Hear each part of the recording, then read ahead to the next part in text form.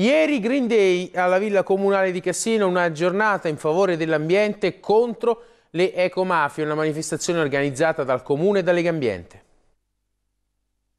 La manifestazione è stata un'iniziativa proposta da Lega Ambiente diciamo, rientrava nelle iniziative che abbiamo organizzato nel corso di questi mesi per sensibilizzare i cittadini e soprattutto i bambini alla differenziazione corretta dei rifiuti e eh, soprattutto per prevenire il fenomeno dell'abbandono. Abbiamo scelto la villa comunale perché è il polmone verde della nostra città e quindi abbiamo spiegato loro quali sono le risorse della nostra villa.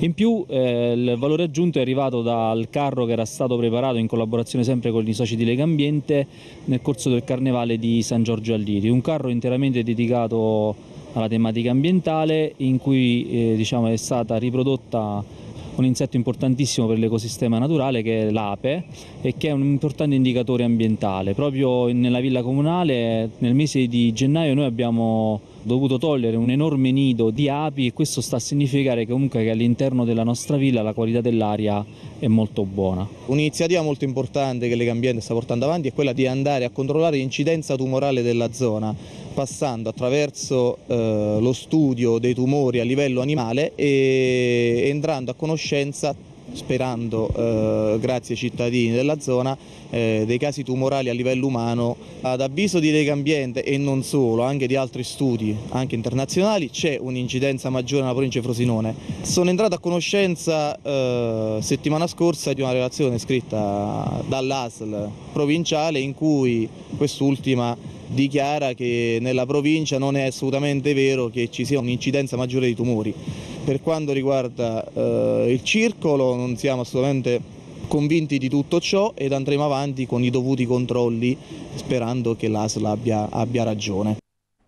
Alla manifestazione contro le ecomafie a Cassino c'era anche Antonio Michele Moccia, lo scrittore del libro La Terra dei Fuochi, lo abbiamo intervistato. Il libro diciamo, parla dello sversamento illegale dei rifiuti in Campania, uno sversamento che è iniziato dagli anni Ottanta e continua tuttora. Il testo riprende in modo particolare atti di tribunale della Procura di Napoli e tira in ballo diverse persone, tra cui numerosi politici ed imprenditori. Sicuramente c'è stato un interramento dei rifiuti sia in Campania e anche a Cassino perché quando si parla di rifiuti essenzialmente dagli anni 80 fino al 2006-2007 esistevano due rotte, la rotta tirrenica e la rotta adriatica e la rotta tirrenica, quindi i rifiuti si sversavano Lazio, Campania e Calabria, quindi comprende il Lazio anche la zona del Cassinate. Poi dal 2008 in poi le organizzazioni criminali si sono un po' adeguate e ora sversano invece verso il nord. Ci sono numerosi atti della Procura di Milano che attestano che aziende collegate all'Andrangheta sversavano nelle regioni della Lombardia e del Piemonte. E con questo è tutto, adesso in studio arriva Cristina Iorio per la pagina sportiva, l'informazione torna come sempre domani alle 13.15, grazie a tutti, buona serata.